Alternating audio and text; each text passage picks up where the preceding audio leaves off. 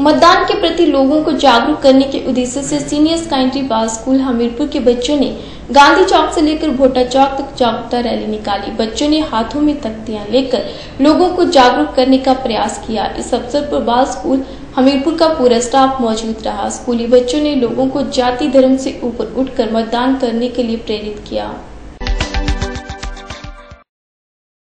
मतदान के प्रति लोगों को जागरूक करने के उद्देश्य से सीनियर सेकेंडरी बाल स्कूल हमीरपुर के बच्चों ने गांधी चौक से लेकर भोटा चौक तक जागरूकता रैली निकाली। बच्चों ने हाथों में तख्तियाँ लेकर व नारों के माध्यम से लोगों को जागरूक करने का प्रयास किया। इस अवसर पर बाल स्कूल का पूरा स्टाफ भी मौजूद रहा। स्कूली बच्चों ने लोगों को जाति धर्म से ऊपर उठकर मतदान करने के लिए प्रेरित किया। वहीं स्कूली बच्चों ने बताया कि आज गांधी चौक से लेकर भोटा चौक तक रैली निकाली, जिसमें लोगों को बताया गया कि वह अपनी पसंद के उम्मीदवार को अपना वोट दे सकते हैं। उन्होंने कहा कि लोगों को जाति धर्म से ऊपर उठकर मतदान करना चाहिए। वोट के प्रति जागरूक किया कि कोई भी व्यक्ति, जात, धर्म या जाति के नाम पर कोई भेदभाव नहीं होगा। सब व्यक्ति अपना अपना वोट दे सकते हैं। जैसे कि आपको पता है, आज विधानसभा चुनाव आ रहे हैं। इसलिए हम लोगों को जागरूक करने की कोशिश कर रहे हैं कि वो बिना जाति धर्म की रिस्पेक्ट रखते हुए अपना कीमती वोट किसी भी जिस जो कैंडिडेट उनके जिसे वो चाहते हैं कि वो अपना पद स्वीकार करें, उसके लिए वोट दें। और किसी प्रकार की मतलब रखें किसी प्रकार की धर्म क्यों रखें कि वो अपने धर्म के व्यक्ति को वोट दे सकें आज हमने रैली अपने बॉय स्कूल से यहाँ गांधी चौक तक की। तो लोगों को जागरूक कर रहे हैं वोटों बताएँ। जैसे कि आप जानते हैं आज हमने बॉय स्कूल से गांधी चौक तक एक रैली निकाली जिसमें हम लोगों को जागरूक करेंगे कि अपना वो अपना वोट किसी को अपनी मर्ज़ी से डाल सकते हैं किसी व्यक्ति को डाल सकते हैं। हम उनके लिए एक वोट बहुत ही कीमती होता है। लोक लोकतंत्र को मज़बूत कर सकता है। कई लोग कई लोग ऐसा करते हैं कि अपनी जाति और धर्म धर्म के व्यक्ति को वोट देते हैं अपना। इस, इससे ऊपर उठकर अब कोई भी व्यक्ति अपनी मर्ज़ी से किसी को वोट डाल सकता है। बूढ़े हो या जवान सभी करें मतदान। मैं प्रधानाचार्य राजकीय वरिष्ठ माध्यमिक विद्यालय बाल हमीरपुर।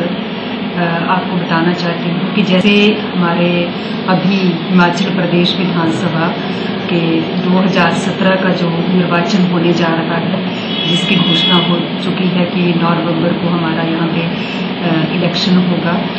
उस इलेक्शन में ज़्यादा से ज़्यादा लोगों की पार्टिसिपेशन के लिए, जैसे कि भारत सरकार ने ये स्वीप अभियान चलाया है, उस अभियान के तहत हम पूरे स्कूल, विद्यालयों में अलग अलग एक्टिविटीज़ करवा रहे हैं। स्वीप अवेयरनेस, कि स्वीप का मतलब है जैसे systematic voters education and electoral participation programme इस प्रोग्राम के तहत हम रैली निकाली, जैसे आज हमने स्कूल से लेकर गांधी चौक तक हमने वहाँ पे जाके लोगों को अवेयर किया ताकि वो अपना वोट डालें, अपना कीमती वोट डालें और अच्छे प्रतिनिधि चुने बिना जाति रंग भेद या किसी भेदभाव के और किसी के बहकावे में ना आके अपने मत का उचित प्रयोग करें और सही आदमी का चुनाव करें। और ये जो हम अवेयरनेस कैंपेन चलाया है हमें, इसमें हमने पेंटिंग कॉम्पिटिशन्स भी बच्चों से करवाया।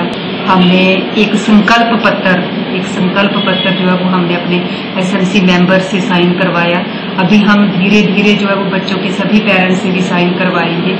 उस संकल्प पत्र में यही है कि अपने वोट का जो है वो सही इस्तेमाल करना है। बिना जाति, रंग, भेद और किसी के बहकावे में ना आकर अपने वोट का सही इस्तेमाल करें। और इसमें हमने बच्चों का जो है वो स्पीच के माध्यम से भी बच्चों को समझाया कि जैसे हमारा देश एक स्वतंत्र देश है, एक डेमोक्रेटिक कंट्री है, जिसमें लोग जनतो जनता द्वारा शासन, जनता के लिए शासन और जनता के लोगों के लिए शासन। मतलब लोग जो हैं, वो अपने प्रतिनिधि चुनते हैं और वही प्रतिनिधि जो है, वो सरकार चलाते हैं। चाहे वो विधानसभा से रिलेटेड हो, चाहे वो लोकसभा से रिलेटेड है। और आपको पता ही है कि जैसे बच्चे बच्चे तो हमारे समाज का भविष्य है।